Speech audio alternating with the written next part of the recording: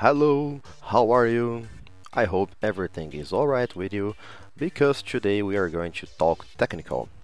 I am going to explain to you what an exclusive OR gate is and many applications and hopefully you will see some curiosities that many people don't know about those toys. Alright, let me start just showing you how simple the concept is.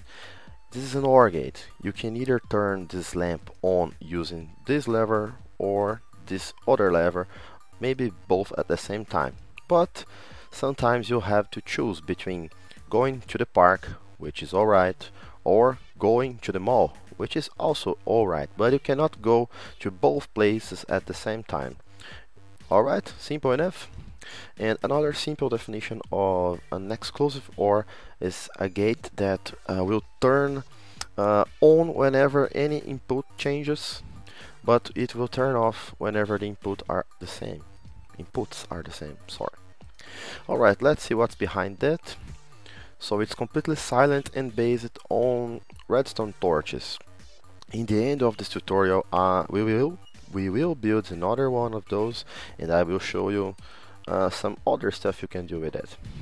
So a classic uh, problem this system is here to solve is the lever door problem, where you have one, one lever in one side to keep mobs away and you get in and you use the lever to close and you can uh, also use the same lever to open again and close with another lever and the lever will not lock the door open or closed the logic behind is the same.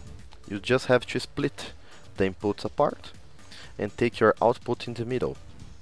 Then this torch here is your output directly connected to your door.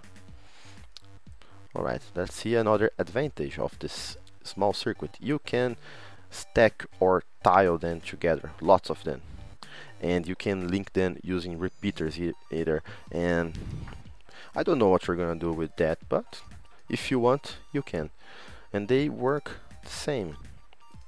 The output will go off as soon as all the, the inputs are the same. You can use this maybe for password checking like secret entrances. If any of the torches input something different it will turn on. If they are all the same it will turn off. Also exclusive OR gates are used in basic math per logic in electronics, in calculators, mobile phones, and so many real stuff. This is the, the table if you are more one of those guys that understand this, computational guys, I don't know. And let's see the example.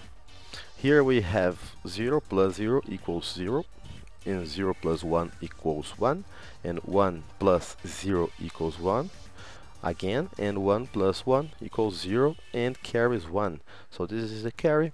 The sum is uh, performed by the exclusive OR like I showed you. And the carry is uh, calculated using an AND OR. Alright least uh, significant bit is here most significant bits here. If you're technical you will understand. If you're not it's just curiosity Alright, here let me bring back some light just to show you that you can really split the inputs apart along uh, really long lines in your maps and it still works. Like if you change any of them the panel turns on.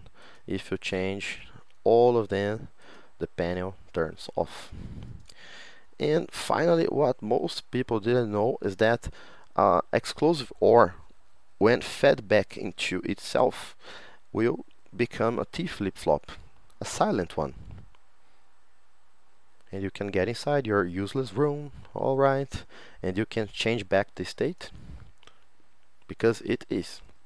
This is the same exclusive OR, but I am feeding back the output into the, one of the inputs. Alright, let's build one. It's very simple. I'm using repeaters here as inputs because they are close together but you don't need to. You can use uh, redstone dust directly. Okay build a bus here another torch here. Alright redstone invert. This is the inverted output. You can use this is ready to be used or you can use the normal output.